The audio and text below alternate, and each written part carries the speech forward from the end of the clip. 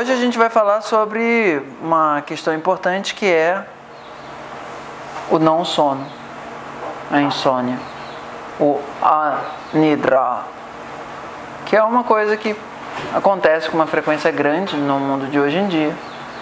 E a gente também vai falar sobre os processos terapêuticos do Ayurveda em relação a esses quadros, vamos te diria assim, um pouco mais patológicos de falta de sono. Não é do tipo, ah, eu não durmo bem de vez em quando, é normalmente eu não durmo bem. E acaba tendo algum tipo de problema por conta disso. Ok? Bom, então, a ideia do Ayurveda é que a gente cuida do processo de insônia. Não só a partir do remédio que você toma para dormir. Não só do remédio que você toma por conta da dor de cabeça que você não dormiu. Não só a partir do remédio que você toma da memória, não só do remédio que você toma para impotência, não só do remédio de todos os sintomas que vão acontecendo, mas também das causas. Certo? Então tudo que a gente conversou ontem envolve você um, retirar, tratar, reto, que é os fatores causais para aquele problema. Quais são os problemas, os fatores causais para a insônia? Você ter uma noite cheio de WhatsApp, você eventualmente não comer direito durante o dia e jantar muito pesado de noite. Porque a gente está falando aqui no conceito de nidra, de você ter um sono restaurador. Se você janta muito pesado, em um certo grau isso para a gente é uma insônia, porque você não teve um sono restaurador. Você teve aquele sono que você acordou letárgico e profundo. Tudo que é diferente de você acordar bem, bem disposto. Para a gente, a gente vai considerar algum grau de insônia. Seja a pessoa que dorme demais. Por isso que para português não fica muito certo você traduzir anidra como insônia. Ok? Porque você pode ter também problemas de distúrbio de excesso de sono. E nesse sentido, isso ainda ser, dentro do sânscrito, anidra, mas em português não ser insônia. Ok? Então, tudo aquilo que é contrário, negativo do sono adequado é a negativo, nidra. Certo? Então, tanto o sono, a falta de sono quanto o sono excessivo, que não são restauradores, eles são anidra a não presença de Nidra. Certo, Laika? Sim.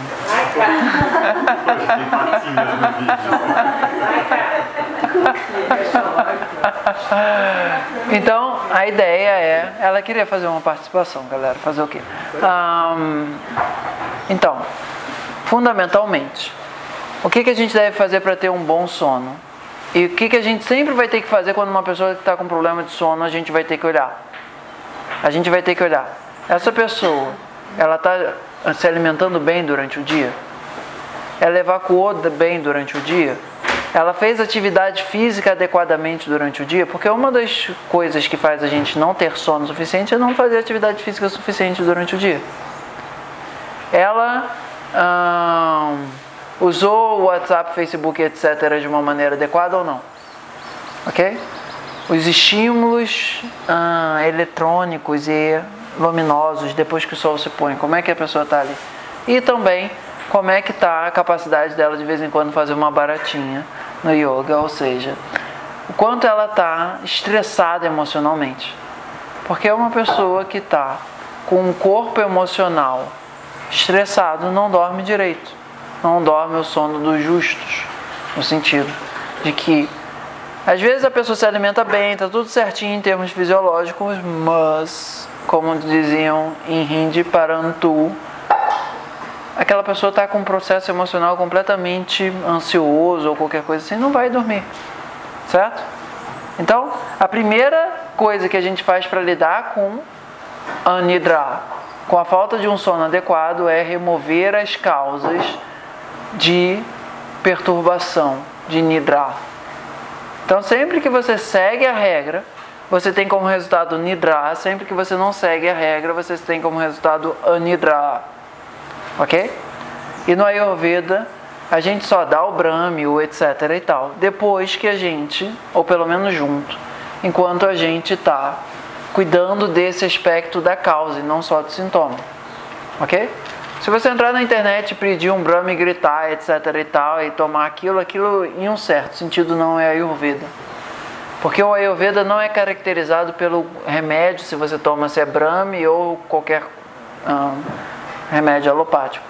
É o entendimento do processo a partir do prisma do Ayurveda, que é, ao mesmo tempo você usa, cuida da causa, reto, você cuida dos sintomas, linga, e você usa processos terapêuticos, aushadi. Você nunca faz só o que a nossa medicina tende a fazer, que é linga aushadi, sintoma, medicina, sintoma, droga, sintoma, droga, sintoma, droga, no final teu fígado está uma droga, certo? É Porque você está tentando resolver os sintomas sem cuidar das causas. Não estou te dizendo que tudo na medicina ocidental é assim, mas grosso modo, institucionalmente, isso tem a sua validade, ok? Bom, então, sobre os procedimentos terapêuticos do Ayurveda, o primeiro é cuidar das causas, certo? Aí depois disso, a gente vê o que, que sobra de sintoma, certo? Então, por que, que no Ayurveda, no geral, a gente precisa usar pouco instrumento externo? Porque a gente usa muito instrumento interno. A gente conta com o corpo e não a gente não briga contra o corpo. A gente respeita o corpo e a gente não obriga o corpo. Ok? Como a nossa medicina não respeita o corpo, ela tenta obrigar o corpo. Adivinha quem ganha? A doença. Certo? A pessoa, ah, eu vivo bem, eu só tomo uns 3 ou 4 comprimidinhos ali. Só por mês gasto uns 100, 200 na farmácia. Mas eu vivo bem. A dor de cabeça já não me incomoda tanto eu já aprendi a conviver com ela. A minha insônia já não me incomoda tanto, a minha dor no fígado já não me incomoda tanto, porque a gente vai ficando cada vez mais tamásico no nosso processo de botar analgésico no processo. Ok? Não que analgésico seja ruim, mas você viver uma vida entorpecida é uma vida tamásica. Ok? Porque tamas é torpor. Então, primeira coisa do Ayurveda, como que a gente começa a falar dos procedimentos terapêuticos? a gente entende que remédio é uma terceira parte da história. Ok? A primeira parte é lidar com o que a gente conversou ontem, que é a rotina adequada para ir dormir. Isso, sem isso, você ficar tomando Brahmi e etc e tal, pode até ajudar, mas isso não é um tratamento Ayurveda sustentável no longo prazo. No longo prazo, aquilo dali provavelmente a casa vai cair, porque você só está dando uma acochambrada ali. Em algum momento vai bater um outro vento e aquela casa, ah, o lobo mal, vai assoprar. Ok? Então a Ayurveda a gente faz casa de tijolo nesse sentido de que a gente cuida das causas. A gente não fica fazendo casa de palha onde a gente só fica cuidando dos sintomas. Ok? Então, o que, que é o conceito de insônia no sentido ocidental de não dormir, ok? Não no sentido de dormir demais, na perspectiva do Ayurveda. A outro tipo de insônia, a que você dorme demais, a gente, em um certo sentido, vai cuidar disso no retiro de Kafa. Quando a gente estiver falando, digamos assim, entre aspas, da insônia Kafa, que é aquele dormiu demais, tá? Hum, então, basicamente, de novo, o processo fisiológico do sono no Ayurveda envolve a seguinte concepção: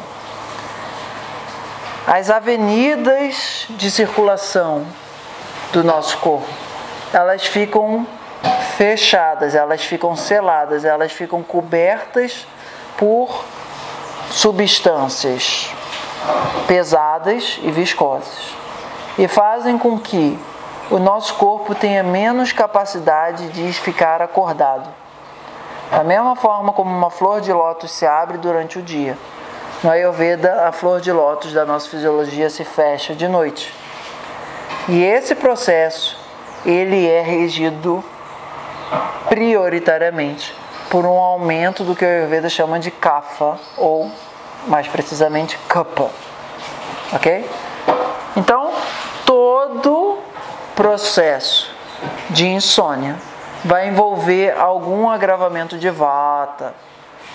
Isso significa que vata resseca o capa. Isso significa que sempre, toda insônia vai ter um fundo vata. Essa insônia de não dormir, ela pode ser uma insônia de fundo vata e cara vata, ou ela pode ser uma insônia de fundo vata e cara pita. Mas de qualquer forma, quando chega de noite, o vata deve falar para o kafa: "Ei, meu irmão, tá na hora de você sair do armário e cobrir esse sistema de kafa". Se o vata não faz isso, o sistema ele fica ativo. Ele não vai dormir. OK? Dentro da nossa perspectiva ocidental, isso significa que depois que o sol se põe, o nosso cérebro deveria produzir melatonina.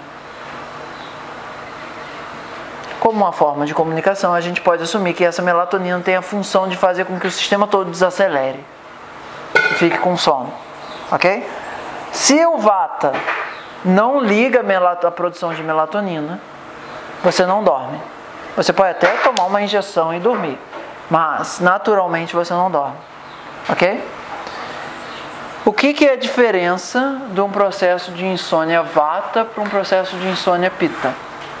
Isso é bem importante. A insônia vata. Quer fazer outro vídeo?